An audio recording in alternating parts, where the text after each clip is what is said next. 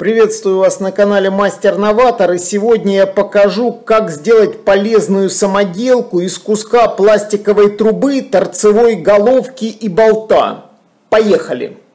Первым делом беру паяльник для сварки полипропилена, включаю его в сеть и устанавливаю на термостате максимальную температуру.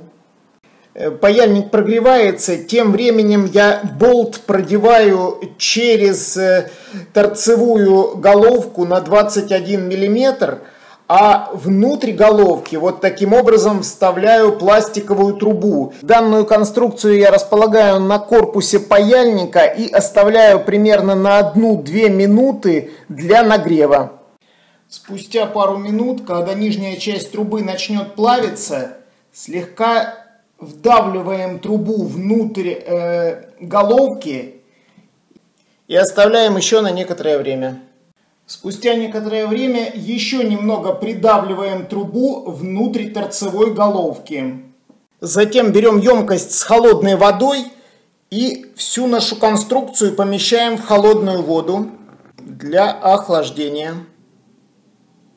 Итак, болт выкручен. Теперь необходимо снять торцевую головку непосредственно с трубы. Далее беру труборез и подрезаю трубу с одной стороны. На этом моя самоделка закончена. У меня получились две отличных пластиковых гайки с гранями под ключ.